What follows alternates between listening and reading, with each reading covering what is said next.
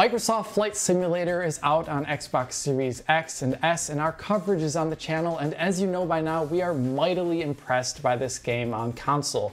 We were impressed last year on PC as well, but it was always the question how it could be done. How could they bring this ultra high end PC experience to console? It was not necessarily a given. And to talk about this today, I'm joined by someone directly from Asobo Studio. That would be Lionel Fuentes Technical Director on Microsoft Flight Simulator. Thank you for joining me today. Hi, Alex. Uh, thank you for having me, and uh, it's an honor to be part of your video. Uh, very happy to be here. Thank you, thank you so much. Uh, so let's get right into it right now. My first question kind of is um, looking back at the way Flight Sim initially launched. We noticed back at launch that it had some very hefty GPU requirements, of course, but the, the biggest thing that we noticed at the time was the heavy CPU requirements of Flight Sim uh, 2020, specifically around cities and on the ultra settings. We noticed how CPU clock speed or single threaded performance was most important and how the game did not necessarily scale very well over six uh, hardware threads or six logical threads. We could see right before this new patch launched on PC uh, that a Core i9 10900K could be in the 40s, maybe around a really big city at the highest settings while CPU limited. But now it's so, so much faster. We, we've recorded up to 50% faster CPU limited scenarios like 7 milliseconds decrease in CPU time.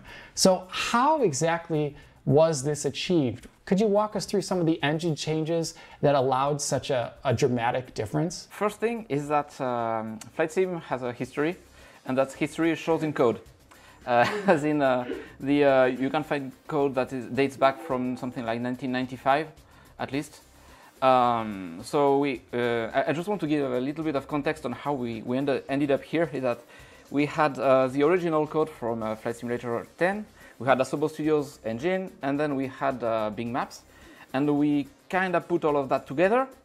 And uh, but the uh, old code isn't, uh, I mean, was made for for other machines, let's say, and uh, so uh, so it didn't it didn't it wasn't meant for being scaled and multi-threaded the same way. So the components we developed, though, like the the terrain engine in particular, it is meant to be multi-threaded what's being threaded. So you, you have like the uh, HTTP requests that are made to uh, to uh, Azure or to Bing uh, download the data. Then there is a lot of processing of those data on the client machine, where you, can like, for example, do the flattening of uh, what we call thin data, which is uh, which comes from photogrammetry, or we, we can compute normals, etc. for for things that we we don't have pre-baked because there are so many data that we we cannot pre-bake everything, etc. So there are a lot of uh, processes like this that are multi-threaded, but the uh, core of the simulation still is not. There is the streaming of the airports, which is uh, multi-threaded, and uh, that one came from FSX. What, what, I, where I'm going with this is that there are lots of uh, different parts of code that we did not necessarily do ourselves and where we had to take some ownership. And uh, a big part of it also was the fact that for the glass cockpits, and for the UI, we are using uh, uh, basically a full-blown web browser with uh, all of the HTML, JavaScript, CSS, and all of that. so it's good because it, it gives a lot of um, a lot of uh, flexibility, and flexibility is very important for us because, as you know, there are lots of uh, add-on developers that can create uh, glass cockpits or that, that can uh, modify the, the, simulation. So this was important to us, but it has a drawback. it's hard to optimize a web browser. And uh, one of the things we had to do. And uh, when you have uh, code in, uh, in JavaScript, um, there is a, a lot of uh, garbage collection happening uh, where the, uh, the code is making allocations and uh, the programmer just expects so this memory to be freed automatically and uh, when garbage collection happens, the world stops, and this creates stutters. So we worked a lot on uh, on avoiding those stutters by doing less allocations and finding unexpected uh, places where those allocations were happening. So there, there is this, and uh, there is also um, being more uh, smarter in terms of how you you uh, balance this over threads. Like if you do a lot, sometimes you do lots of garbage collection, sometimes you do more uh, JavaScript execution. So and you split per view. Uh, so uh, so there, there, was this. Then in general also the fact of um, uh, optimizing the, the terrain, as in uh, re reducing the amount of memory being used and uh, reducing the processes that could be reduced or optimized uh, helped a lot. So um, it, it, was really very different things, a bit everywhere that uh, that helped uh, optimize things. And uh, one particularity of Flight Sim is that because the amount of data that is being used there is so big, because the world itself is so big, and so you need so much data to represent it. Uh, we cannot uh, go over all of this data and tweak it the way we like. So there is a lot of, um, of work that is to be dynamic and adapt to the data and, uh, and adapt also to the condition. Like uh, when you are flying very high above the sky, you don't see much of the terrain versus when you're very close to the terrain, then you have lots of details. And this is a very, very different workload and we need to, uh, to adapt to, uh, to uh, many different things. So a lot of work was into making things dynamic. Was there any um, kind of optimizations to the simulation model, like regarding like the, the fluid simulation for, uh, you know, like wind going over the wings or any of the like the physicalization? Was that optimized at all for this update? So there are lots of caches that, mm -hmm. that are uh, a bit of the uh, magic formula to avoid redoing things. So So mostly this, but uh, now the simulation model uh, is still uh, single-threaded. Okay. It's not necessarily that big a part of the, of the frame in the end. So another part of the update was increasing the frame rate, at least from what I've seen on PC, uh, uh, inside some of the larger um, I would say like jumbo jets, like the 787, seems to be running better right now. So what was part of the optimization effort for larger airliners? The glass cockpits are made using this web browser. so uh, what I said before uh, applies directly to, uh, to this use case. So I've been talking right now about uh, DirectX 11 version on PC. Of course, consoles uh, and Xbox Series are assuredly using DirectX 12. Uh, what specific optimizations were done there regarding the engine on console to get it running faster? The objective before optimizing the rendering, etc., was to make it work at all. Ah. that's the first step. so, so that was the uh, the uh, the objective, right? Uh, port to the DX12 and uh, do uh, everything as necessary to have something that works. And uh, the thing is that in our current state, we are rarely limited by the render thread itself. So because we have this render thread, which also splits for some of the draw calls into several uh, different threads, like when we write to the gbuffer. We, we haven't yet uh, tackled uh, all the potential of DX12, to be honest, because it was not really what was the limiting factor uh, for us in terms of performance. So as another part of this on PC, we noted uh, that the game had a massive reduction in how much uh, memory it is using, both video memory and system memory, and I presume this helped uh, the console experience as well. We noted in the exact same scene, exact same flight path, 1.5 gigabyte reduction in VRAM utilization, and a nearly 9 gigabyte uh, reduction in system memory in the exact same scene. These are huge numbers. Uh, how was this achieved? Uh, there was a question, will we achieve this? it's, it, it's scary, uh, but uh, you, don't, you don't know until you try, right? Uh, so, um, so there, there were lots of uh, important optimizations that we made there. Uh, so to be to be clear, this was really uh, the uh, biggest part of the work on porting to, to console, mm -hmm. optimizing for memory and fitting in, into the the Xbox Series S in particular. Um, so in, on the world side, when you have the, the world in the game, you have it in several places. You have the world outside. You also have it in the glass cockpits that show the world. So you were talking about the 747 uh, so in, in big airliners, you, you can have a, a visual uh, representation of the world. And uh, you can also have it in the uh, VFR map. So um, yes.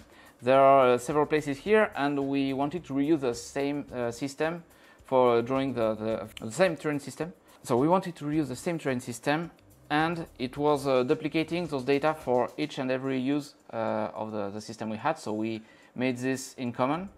We also optimized the terrain system uh, by, um, by looking at where we were storing textures that uh, were not really needed because actually there was no data to display there.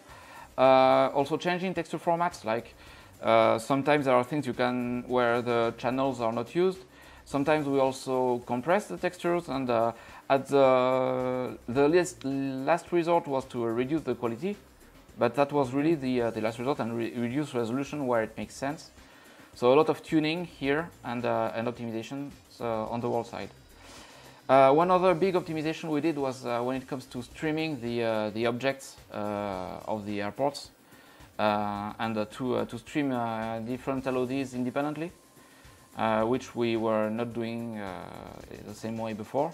And then on, the, on this web browser part, we also um, did uh, some compositing where we, we could um, get rid of uh, intermediate textures that were used for, um, for composing the, the image. And uh, we could also avoid some allocations that were not really necessary. So uh, there was a, a, lot of work on, on, this side as well. And lastly, there, were also, um, there was also work on the uh, art and the data side and the audio uh, where it could be compressed, could be streamed. So stream more and more stuff and uh, make it fit into the box. so, so as part of this, um, are the console us- uh, versions using at all some of this uh, velocity architecture or direct storage uh, capacity on the Xbox there? To use the uh, decompression feature, hardware decompression feature, that is that's part of it and uh, it's it's part of the uh, it, it's used for all of our file accesses. So when we stream the uh, the data from the airports, it's used there among other things. Incredible, cool. Um, so GPU wise, we mentioned uh, initially when we've touched this video or touched this game multiple times in the past, how it is a beast on ultra settings. Obviously, you can turn down settings to make it lower. Um, what was the optimization effort like to bring those that the quality of ultra, the biggest parts of those ultra settings onto the Series X GPU, for example? So uh, in terms of GPU optimizations, we had some um, some specific uh, some specific work that we did for uh, the trees, where the trees were so the trees are using this uh, fancy technique called imposters that I love, uh, where you uh, you basically have a, a single sprite, but because you pre-baked all the different viewpoints for the, the tree, you you do a smart choice between the viewpoints that match you, uh, what you see and you interpolate them in such a way that you feel like it's an actual 3D object. It's super cool and it allows us to, to draw millions of trees. But uh, we were using geometry shaders for expanding the, the quad and just getting rid of this was, uh, was helping. a lot. And, uh, and, and um, we, we had something similar for the terrain itself because there is this uh, this system where you have tiles that get cut in parts and where you choose uh, which part to draw or not and you cut it and uh, we were using geometry shaders there and we went to some other technique that didn't need it.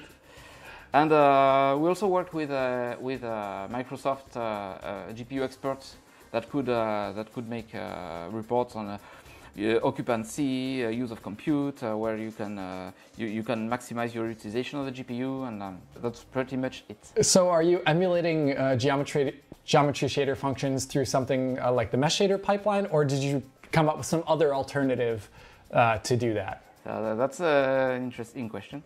Uh, we have not yet uh, experimented with mesh shaders. We may in the future if there is uh, some good reason to do so. It's just vertex shader based and and uh, and uh, doing the distinction between the, the vertices that you want to, to extrude or or uh, and for, for, the terrain it's with the we're really getting technical here that's fine that's fine. It's digital foundry it's fine. Uh, so yeah it's like uh, using the uh, the index buffers to be able to only select parts of the tile that we want to not to draw. So so yeah, other ways. Fitting this onto the Series S GPU, that must have also, beyond just the memory requirement, there also had to have been some sort of cutbacks or optimizations very specific there. In our review, we mentioned that uh, the most obvious one, beyond the resolution difference, uh, where we counted an internal 1080p resolution there, uh, was the reduction in object draw distance for things like uh, terrain or uh, buildings. Uh, what exactly is the reason for doing that very specifically, like on the GPU? Uh, so uh, on the Series S, our priority mm-hmm. was really memory. So uh, as, as I said, we implemented this system for streaming uh, LODs that that is more precise than one we had than what we had before. So um, it's uh, we, we tune the distances, the draw distances of objects, and the uh, the way LODs are being used in order to uh, minimize the number of uh, meshes and textures uh, in memory at the same time. The game targets 30 FPS in its default mode on Xbox Series X and S. What was the main decision behind targeting that frame rate on the consoles? So we want to have the best uh, visual quality possible. And the, the type of game or simulation makes it so that it's not like uh, an FPS or an RTS or something where you have to be very quick at uh, clicking and reacting at etc. We would prefer to focus on making something look great than mm. making something uh, run fast for this particular use case, as long as the experience is smooth, which is important. There is, though, a kind of optional uh, variable refresh rate mode that goes above this FPS cap Firstly, does this uh, uh, variable refresh rate mode change any of the graphical settings no. in the game? No. No, okay. Uh, Did not seem to. Good to know that at least. Um, and we noted in our review, it's a little bit hard to get uh, frame rate capture for variable refresh rate stuff from our end. Uh, but we did note that uh, the game is running surprisingly close to or above 60 FPS at times uh, on uh, both Series S and X, especially the Series S, which was very interesting. Um, what are the primary bottlenecks at that point in the subsystems of these machines? Like, is it on the CPU side? Is it on the GPU side? Uh, or is it on the memory side when you unlock the frame rate? What is usually the first thing to cause the frame rate to kind of clock out at its max? Well, in general, it's uh, still the uh, CPU on the, the main thread. But yeah, it can vary. It, it's uh, as, as usual, it's always a, a mix of uh, several things between the uh, the rendering of the rendering of the terrain, the culling of objects. Uh, you have the the simulation itself, and then you have this web browser system that that is also part of the equation. So um, yeah, all of this combined. As part of this, was there ever the idea that maybe we should try for a 60 FPS mode, given how high above 30 the game actually can scale at times? Uh, the thing is, if you target 60 FPS, you have to do 60 FPS all the time. so, and uh, as I said at the beginning, that we have very uh, variable loads as in uh, when you fly very high or when you fly very low, you can it, it's uh, it, it, becomes very different. So um, so it seemed safer uh, to to target 30 FPS and maximize uh, how good uh, a rendering we can get. If you look at 60, you don't do stutters. You yeah. It's more important to have a smooth experience than having a high number. Agreed, agreed. That's our motto kind of here at Digital Foundry. Really good frame times, very consistent frame rates. Um, one thing uh, that the game uh, does currently, I don't know if it's intentional or not, is that on console, on Xbox Series X and Series S, uh, the game only unlocks the VRR mode when you have your set uh, set to 120 hertz, but not six, but not 60 hertz. Is this intentional? okay, uh, you, you, you go far in your analysis. this is true. So, um, so the thing is, uh, there is currently there was no way for us to detect whether the TV supported uh, variable refresh rate or not. So it's basically a heuristic to uh, on whether it supported refresh, uh, variable refresh rate. We also tried running on a, on a 120 hertz um, setting, and it appeared smoother looking at 120 hertz than looking at 30 hertz because when the GPU, well, yeah, when the GPU finishes rendering, uh, the time before it gets onto the screen is small because it's one uh, out of uh, um, one over 120. Uh. Mm-hmm. 8.33 milliseconds. Yeah. Yeah. So um, so yeah, we we use uh, yeah we enable uh, VRR basically on 120 hertz. So the game we noticed on console is targeting 1080p on Series S and targeting 4K on Xbox Series X, but we noted as well, like the PC version, it has a really great uh, temporal anti-aliasing upsampler, a reconstruction uh, anti-aliasing. Um, how is this put to use on Xbox Series X and S? Temporal anti-aliasing is also used for uh, doing uh, temporal upsampling. we accumulate 128 samples over time uh, per pixel, and uh, we, we do a, cumulative um, moving average first so that when you have a, an object uh, appearing, uh, you don't you you don't give that much importance to history, and uh, after a number a given number of frame, you can have an exponential decrease where the history becomes uh, less important. This is all to, to avoid uh, the uh, the ghosting artifacts and we, yeah, trying to make use of what makes sense. And uh, when the history becomes uh, less relevant, we reduce its weight so that when it's uh, too far from the uh, border mm-hmm. around the color of the, the pixel that, uh, that we are computing. So. Uh, last question is something I always like asking developers in general. As a part of this update, bringing the game out to have better performance on PC, which is wonderful, by the way, and also seeing it translated so beautifully over to the consoles, what is something that you are particularly proud of in bringing this update out? Uh, I would say I'm particularly proud of the fact that it works and runs first. you know, because it was uh, it, it was really a challenge to uh, to have this title work uh, on the console, considering how uh, huge it is and uh, the amount of data that are being processed and and the fact that it gives a great experience and that people seem to like it and th this is very important to us obviously. We are making uh, experiences for people to enjoy. Uh, i don't have any particular uh, technical uh, point that i would say is uh, more important than others. It's it's really a mix of uh, very different parts that needed to be optimized and and to, to run smoother and to, to yield a better experience in general. And uh, I'm also very proud of the team. I'll make I'll make sure I get that in there. Okay. Well, uh, um, thank you so much. We really love uh, this game. We loved it last year. We love it more even this year. We think Asobo Studios do incredible things. This game, of course, and Plague Tale, which we also really really love as well too.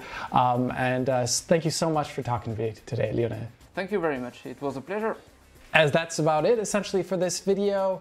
Uh, if you did like it and you would like to see more technical interviews like this, please hit the like button and subscribe to the channel. If you're already a subscriber, hit that little bell in the corner to be informed as soon as Digital Foundry posts a video. If you want to support us and help us out, support DF on Patreon to uh, enable content like this in the future, as well as get all of our content available in high quality for download. And as always, you can follow me on Twitter and I will say Auf Wiedersehen und Au revoir.